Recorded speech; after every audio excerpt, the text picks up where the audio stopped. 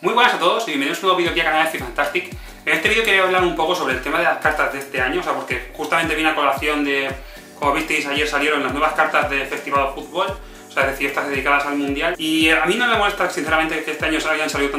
tantos tipos de cartas. Bueno, por una parte, han sido solo en versiones especiales unos 20 modelos diferentes de cartas, o sea, diferentes colores, tipos y estadísticas y demás. O sea, que sinceramente puede ya no cansar, pero sí que ya deja de sorprender. Es decir, antes nos emocionaba mucho ver cuando salió una nueva carta de Cristiano Ronaldo de delantero con 96 de media, pero este año hemos visto tantísimos tipos de cartas que ya nos llaman mucho menos la atención. Por una parte, no me gusta este modelo de, salir, de sacar tantas cosas, porque empieza a parecer como un juego de móvil. O sea, nosotros, una cosa es que Ultimate Team tenga unas normas diferentes y nos llame la atención por X cosas, por coleccionar, por dar mayor eh, vistosidad a las plantillas, además de rendimiento, evidentemente, pero ya no a costa de todo. O sea, por una parte, repito, es exagerar el número de cartas que han salido, y dos que no tienen mucha relación ni por lo que salen, o sea, antes salen por motivos lógicos, un porque entraban en el equipo de la semana, un jugador del partido, un jugador del año, lo puedo entender, pero este año, por ejemplo, que si cumpleaños de foot, que si Halloween, pero repito, son cosas más propias de juegos de móviles y de juegos un poquito más infantiles que de lo que verdaderamente FIFA necesitaría. Y luego, otra cosa que no me gusta en este sentido es que la mayoría de ellas luego no tienen, ninguna, no tienen ningún sentido sobre el campo, es decir,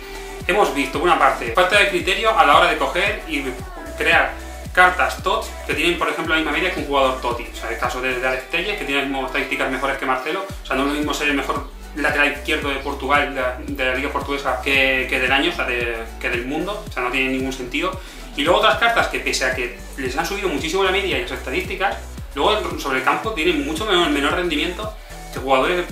en principio que deberían que ir peor. Es decir, por ejemplo, el caso de Casemiro TOTS, que tiene 24 de media, va mucho peor, o sea, puedo asegurar que van mucho peor sobre el campo que Vieira en su, en su versión 86, es decir, en la más baja de las tres. Entonces, es una muestra más de que no tiene ningún sentido setar tantísimo las cartas y luego no se van a notar sobre, sobre, el campo. Y otro ejemplo más de la falta de criterio es, por ejemplo, que estamos viendo en estas cartas del, Mundial, o sea, en el caso de Isco, o sea, que tiene más media esta carta que su carta TOTS. Es decir, parece que tiene más valor haber hecho un buen partido en el Mundial, o sea, que todavía, cuando todavía está el Mundial empezando, estamos en la fase de grupos,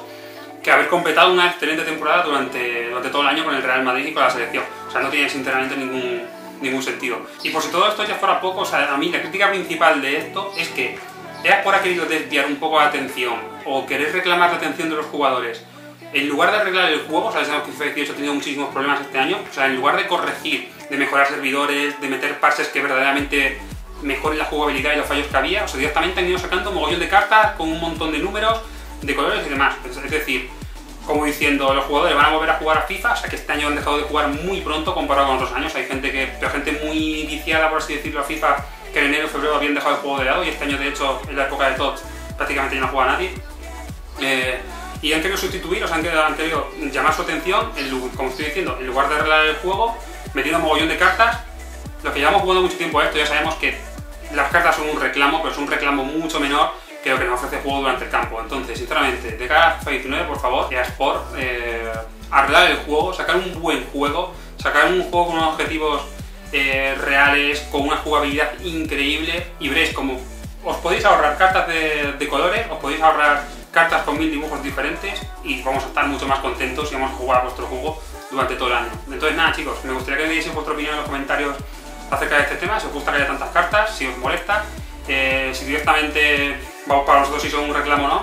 y así vemos las opiniones de todos, de todos vosotros. Entonces nada, una vez más gracias por pasaros y hasta pronto.